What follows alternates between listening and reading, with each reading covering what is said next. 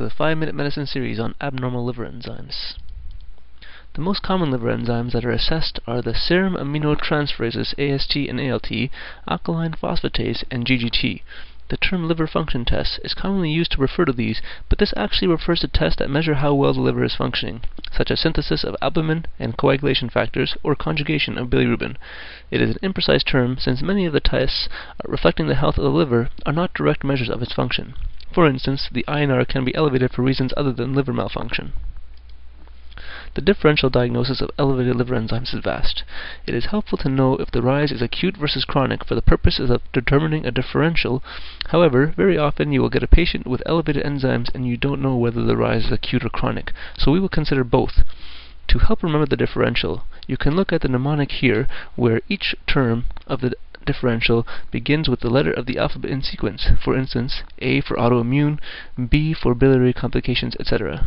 Autoimmune disease is a diagnosis based upon the presence of elevated serum aminotransferases, absence of other causes of chronic hepatitis, and serologic or pathologic features suggestive of autoimmune hepatitis. Biliary complications include anything which obstructs the flow of bile acids through the bile ducts. Examples include stones within the ducts, compression outside the duct, like pancreatic or gallbladder carcinoma, or inflammation of the ducts as seen in primary biliary cirrhosis or primary sclerosing cholangitis. Hepatic congestion can be caused by congestive heart failure or Budd-Chiari syndrome, where there is something obstructing blood flow through the hepatic veins. Almost any drug can cause an elevation of liver enzymes. Common causes include acetaminophen, NSAIDs, antibiotics, statins, anti-epileptic drugs, and anti-tuberculosis drugs. In addition, herbal preparations and illicit drug use may also be the cause. Ethanol is a common reason for liver injury, both acute and chronic. The diagnosis is supported by an AST to ALT ratio of 2 to 1 or greater with an elevated GGT. Fatty liver and non-alcoholic steatohepatitis, or NASH, may present solely with mild elevations of the serum aminotransferases, which are usually less than fourfold elevated. NASH is associated with obesity and type 2 diabetes. Growth refers to lesions of the liver.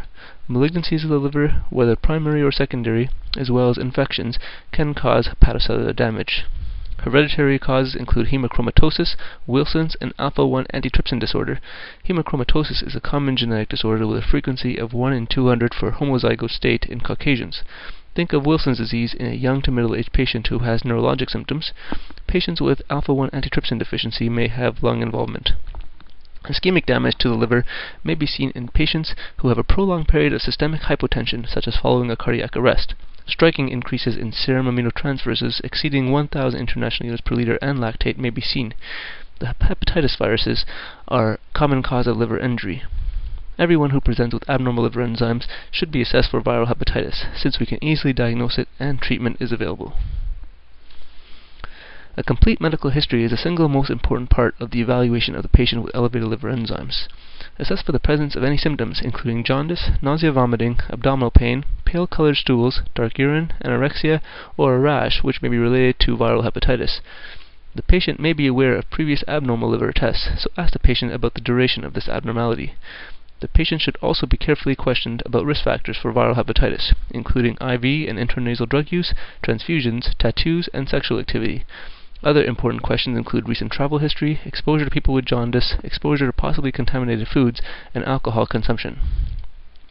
Assess for the use of or exposure to any chemical or medication, including prescription and over-the-counter medications, as well as herbal therapies, which may be temporarily related to the onset of liver enzyme abnormalities. The presence of other medical conditions may increase suspicions for certain diagnoses. CHF raises concern for hepatic congestion. Hypercoagulable disorder may suggest a portal vein or hepatic vein thrombosis. Other autoimmune diseases or celiacs may raise suspicions for autoimmune hepatitis.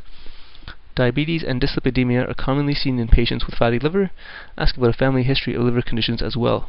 Finally, you want to know if the patient has had any symptoms suggesting they may have cirrhosis. Ask about accumulation of fluid in the ab abdomen or legs, symptoms suggesting upper GI bleeding, and if they've had any episodes of confusion, disorientation, or disturbance in their sleep-wake cycle. The physical examination should focus upon findings suggesting the presence of liver disease. Specific findings may provide clues toward diagnosis of the underlying cause as well. Is the patient jaundice? Assess for stigmata of chronic liver disease, which suggests the process may be long-standing. Jugular venous distension, a sign of right-sided heart failure, suggests hepatic congestion may be the cause. A patient who has come in confused and has asterixis may be suffering from hepatic encephalopathy. The abdominal exam should focus upon the size and consistency of the liver. Castell sign can help assess for an enlarged spleen. Assess for ascites by determining whether there is fluid wave or shifting dullness. Severe right upper quadrant tenderness with respiratory arrest on inspiration is Murphy's sign and suggests cholecystitis or occasionally ascending cholangitis. Patients with a hepatocellular process generally have a disproportionate elevation in the serum aminotransferases compared with the alkaline phosphatase, while those with a cholestatic process have opposite findings. The serum albumin, bilirubin, and INR should be obtained to assess liver function. Other blood work to consider include ANA, anti-smooth muscle antibody, anti-liver kidney microsomal antibody, and quantitative immunoglobulins to assess for autoimmune hepatitis. AMA is elevated in over 95% of patients with primary biliary cirrhosis. A high ethanol level in a patient with acute hepatitis may be helpful. Fasting blood glucose and lipid profile should be done to assess if fatty liver could be contributing.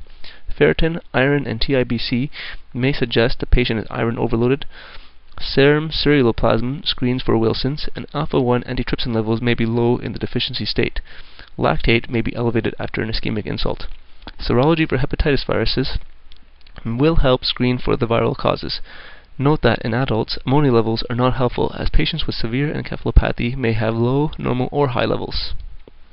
An ultrasound is a cost-efficient method to assess the liver and can assess for cirrhosis. Numerous conditions can be detected, including biliary duct abnormalities and cholelithiasis, fatty liver, growths of the liver, and if Doppler flows are used, it can also detect hepatic congestion, such as due to CHF, Budd-Chiari, or even portal vein thrombosis.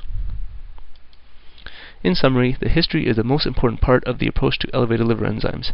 The ABCDEFGHI approach is one mnemonic that can help you remember most causes of liver enzyme abnormalities.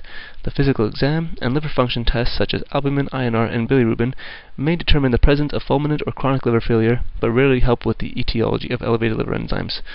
Ultrasound imaging is helpful to diagnose many of the causes, especially obstructive causes and those related to flow through the liver.